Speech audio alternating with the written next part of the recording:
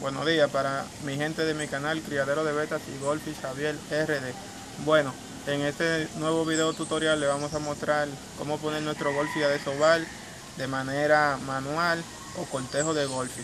Bueno, aquí tengo las herramientas que vamos a usar, que son eh, malla de poloché, lona eh, de esta, perdón, colcha. Usaremos colcha eh, más colcha, bueno, y la tela de franela. Bueno, agarramos la tela de lo que hacemos es que le hacemos un orificio en el centro a nuestra colcha. Esta colcha se consigue en, lo, en las televisiones que uno compra, las televisiones nuevas o cualquier electrodoméstico que ustedes compren, siempre traen esta colcha. Lo que hacemos es que le hacemos un orificio en el medio. Eh, tenemos nuestro, nuestra tela de, de franela, la partimos en dos así como está esta. Déjame explicarle bien nada. Ahora lo que hacemos es que la cruzamos por aquí por este orificio. La vamos preparando ya está lista. Bueno ya está está casi preparada. En este caso usaremos tres de esta. La otra y aquí está la otra.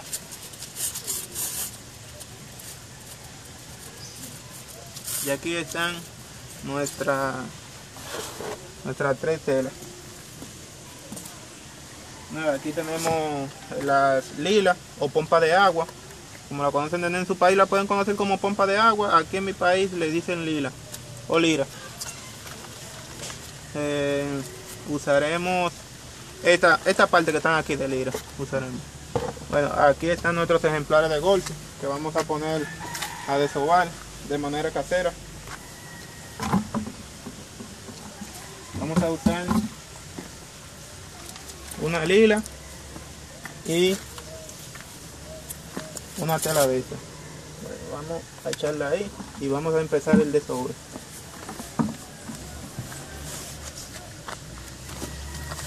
bueno yo he observado varios videos que no muestran con exactitud cómo poner nuestro golpe a desovar ya que hacen un video y nada y se lo enseñan así de esa manera, pero esta es la manera correcta para que se le den su golfis.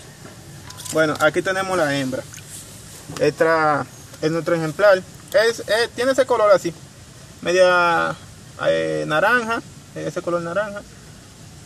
Pero no es, ese no era su color, es negra. Lo que pasa es que tiene tres años con nosotros.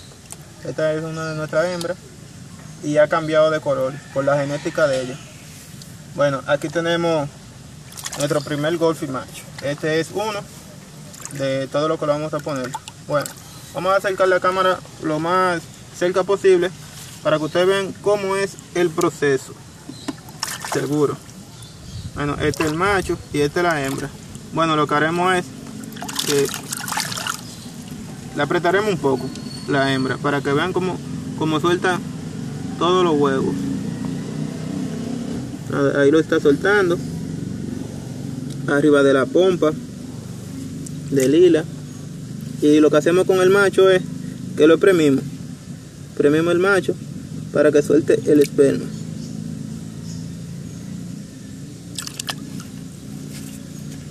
Tenemos que moverlo un poco así para que los espermas se rieguen, se rieguen en los huevos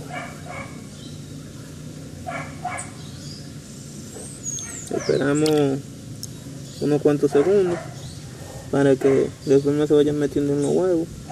Bueno ya en lo que ese eso se van terminando lo que hacemos ahora es que vamos a coger esto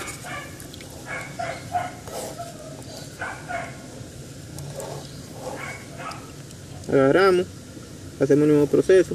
Miren cómo, cómo salen los huevos de la hembra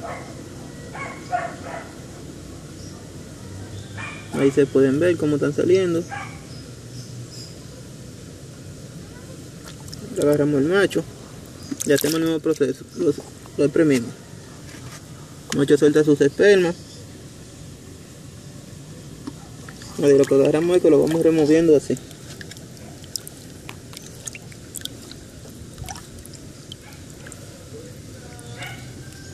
Bueno esta tela esta tela de franela sirve para que nuestro golf cuando nacan se puedan enganchar de los orificios y no y no se ahoguen.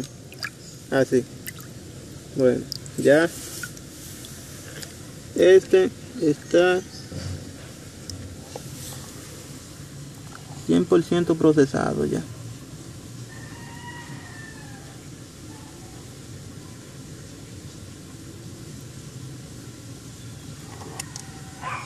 y aquí tenemos esta lila lista. De igual manera que también nuestra nuestra boya con tela. Ahí está. Bueno siempre caerán unos cuantos huevos al fondo como se puede ver allá al fondo que tenemos unos cuantos huevos pegados. Pero esos huevos los podemos dejar ahí mismo en esa misma ponchera y también veremos cómo ellos nacen. Bueno ya ahí tengo ya eso, ya eso están fertilizados esos huevos. Ahora vamos hacia el otro macho que es aquí agarramos lo mismo.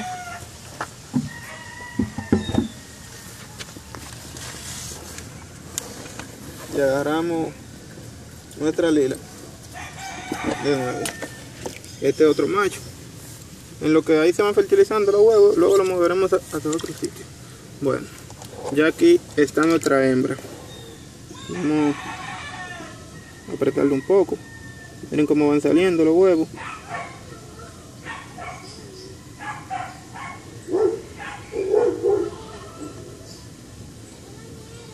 Miren ahí cómo están saliendo todos los huevos.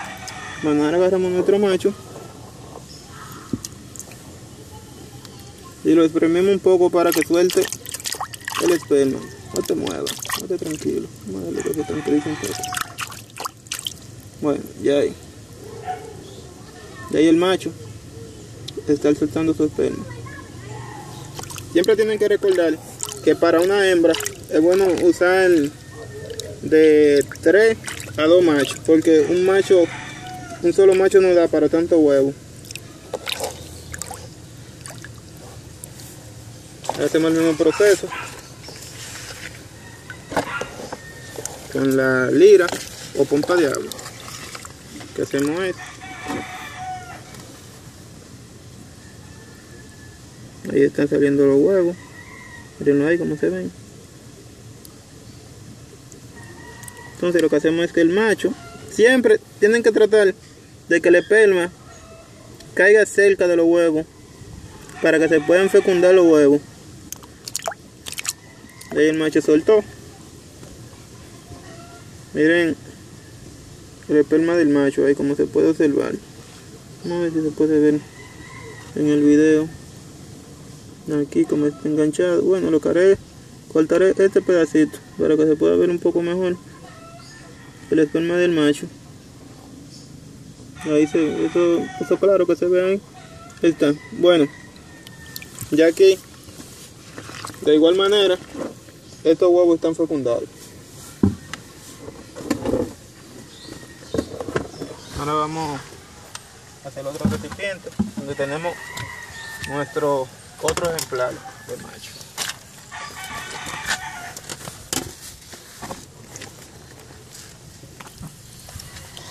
Ahí hacemos el mismo proceso agarramos la hembra, nuestra hembra y la deprimimos Premimos un poco. No la pueden apretar mucho para que, para que no la vayan a matar. Es solo un poco. Con apretarlo un poco. Si ella tiene huevo, lo soltará. Como se ve aquí en el video.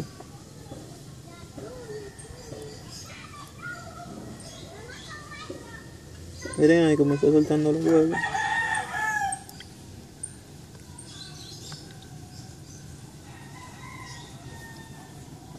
Miren cómo suelta los huevos. Bueno, vamos a agarrar el macho.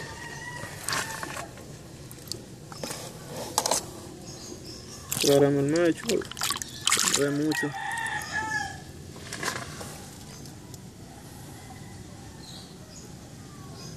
Y ahí el macho suelta su esperma.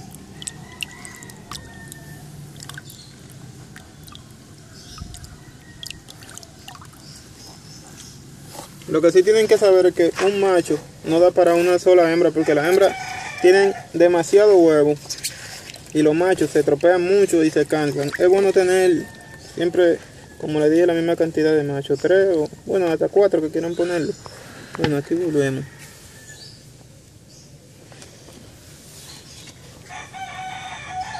Y empezamos a apretarlo un poco. Vaya soltando sus huevos. Tienen que recordar que no le pueden hacer mucha presión a la hembra para que no se vaya a morir. Ahí nuestro macho ya soltó sus penas. Y ahí están.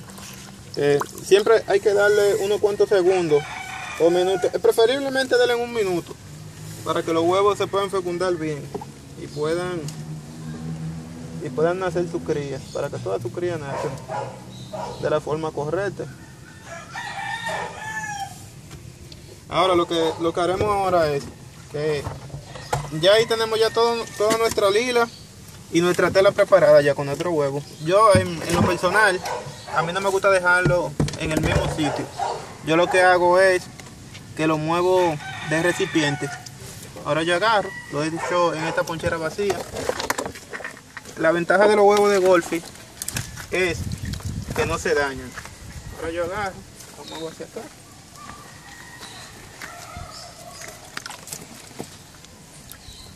Y lo moveremos hacia acá.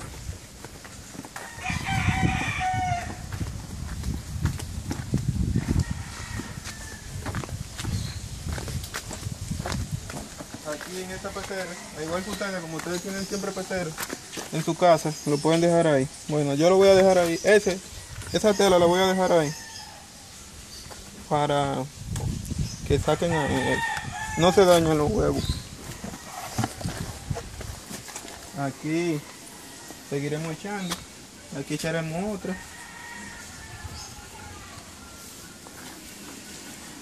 Aquí echaremos otra vida. Aquí también.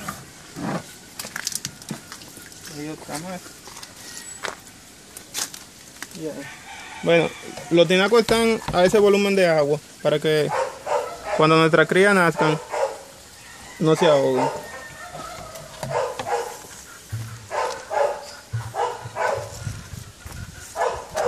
Vamos a mirar más de cerca la de la trasera. Ahí, eh, nada, en lo que son cuatro, de 4 a 5 días empezarán a eclosionar los huevos, van a nacer y luego le enseñaré los alevines. Nada, si el video les gustó, eh, denle like, recuerden suscribirse a mi canal, comenten que todos sus comentarios serán respondidos. Gracias, pasen buenas.